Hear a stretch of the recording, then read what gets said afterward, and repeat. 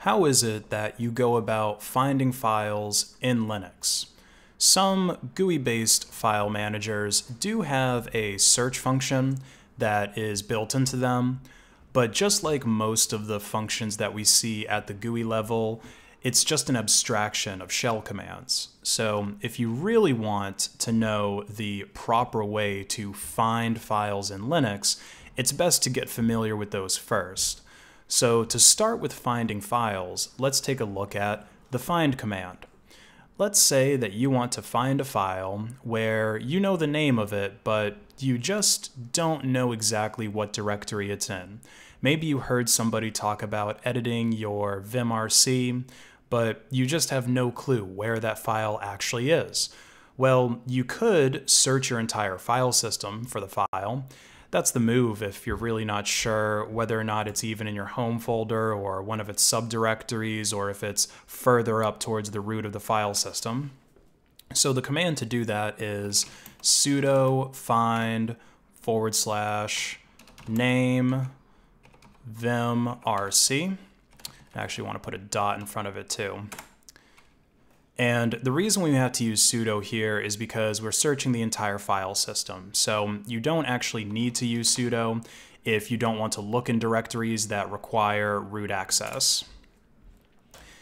And so here you can see on my terminal output all of the places where the file .vimrc appears. So this one here in my home directory is the one that I would want. There's some duplicates because I have the deploy Gentoo folder hanging out in a couple of different directories, and I have a separate uh, vimrc for my root user. Now, what if I wanted to find all of the RC files? Because there's a few of those dot files on our system. There's one for bash, one for vim, one for zsh if you use that shell as well, and one for htop. Well, we can combine the find command with a wildcard. And if you're unfamiliar with those, I suggest you check out my video on bash wildcards. Well, really it's more of a shell feature than a bash one because it's supported in ZSH and fish as well. Uh, so let's search for all of these.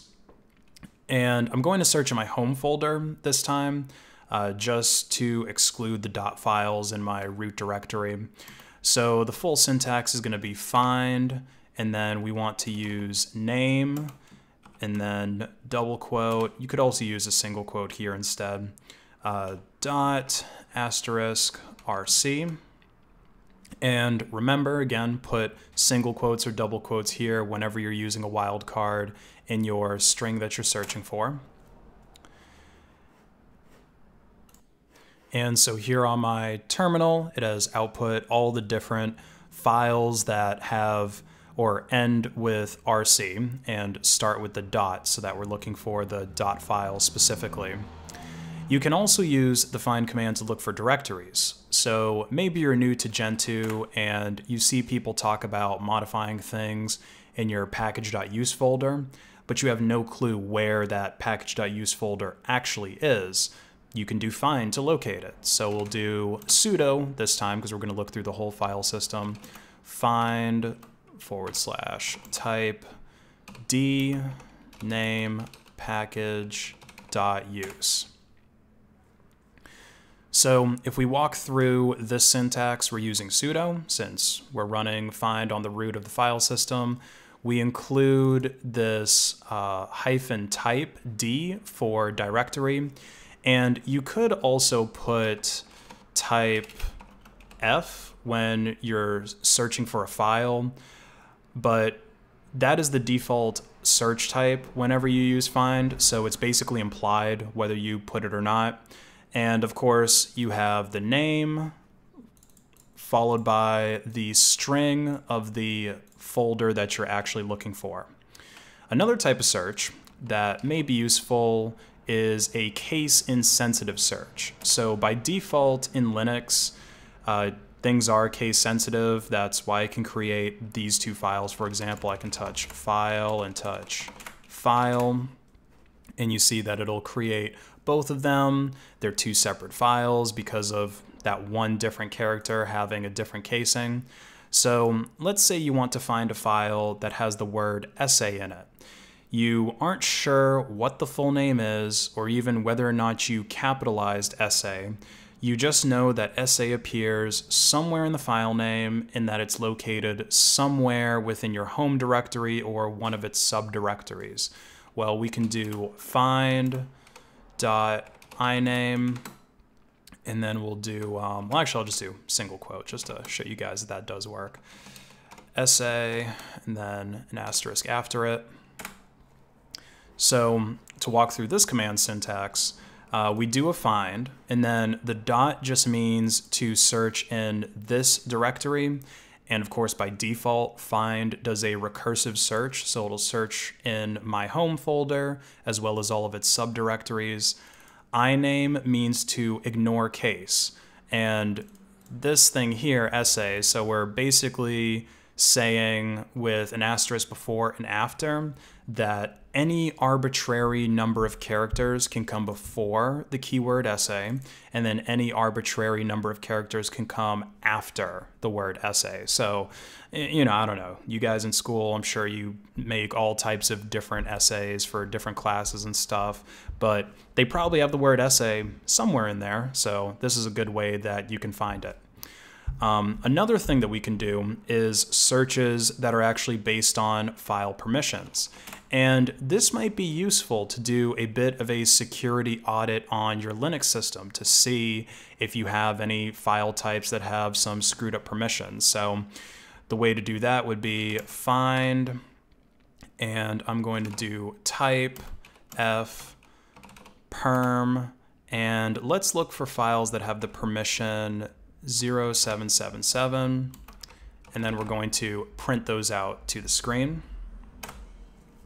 Now I actually don't have any in my home folder, any of the subdirectories.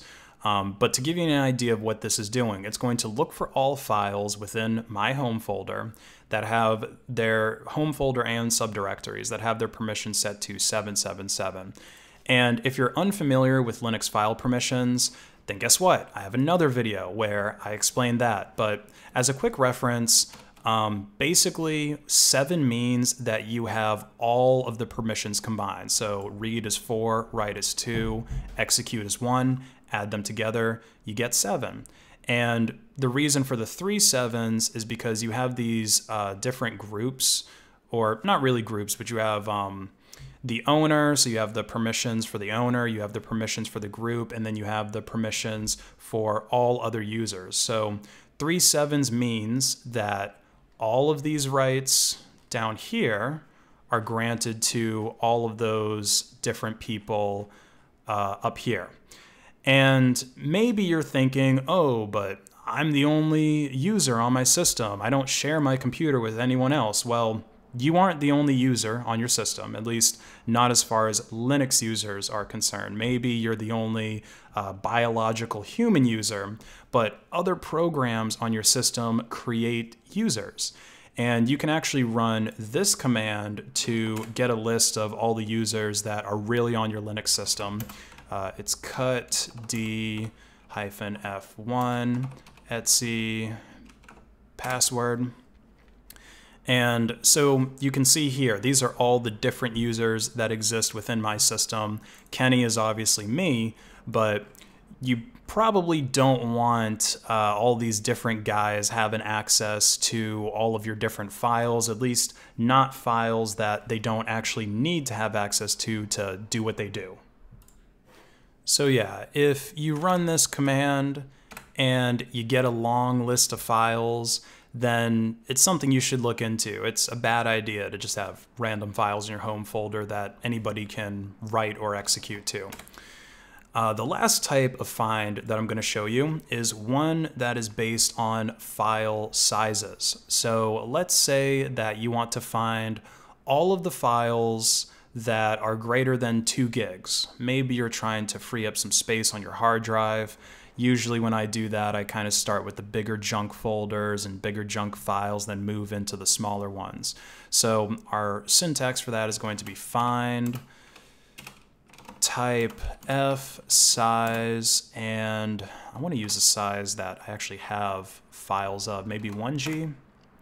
Uh, no, I don't even have any files that are 1 gig in size. Um, but basically, if you did, like if I had, I don't know, a music, uh, not a music, like a movie file or something like that downloaded here, then you would probably see that pop up.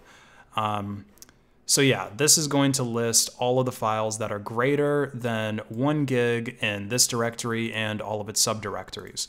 Now, maybe you want to search for a range of file sizes, right? You want to look for something that's between one size and another. Well, we can do that with find, and then it's going to be type f size, and then we want to do greater than one megabyte, and then another size switch, and then we're going to say less than two gigs. So this time it actually returned a bunch of things. Um, so yeah, this is literally just showing all the different files within home and all of its subdirectories that are between those two different sizes.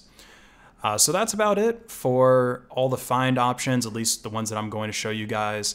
Uh, this isn't anywhere near all the options that are available though. You could read the man page for find and there's a lot of options here. In fact, this man page is, I think, over a thousand lines long.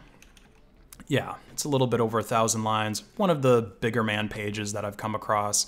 So if you're feeling really bored, uh, it might take you an hour or so to read through all of this and maybe another hour or two of testing to see for yourself what all the options do. But if you made it this far in the video, then you've got some of the basics already down, already remembered, hopefully. if not, just watch it again, right? You can always replay it. And as always, I hope you guys enjoyed this video. If you did, be sure to share it with your friends, enemies, as well as your neutral allies. Like the video, subscribe, and tick the notification bell so that you know when new content is being released. Peace out, guys.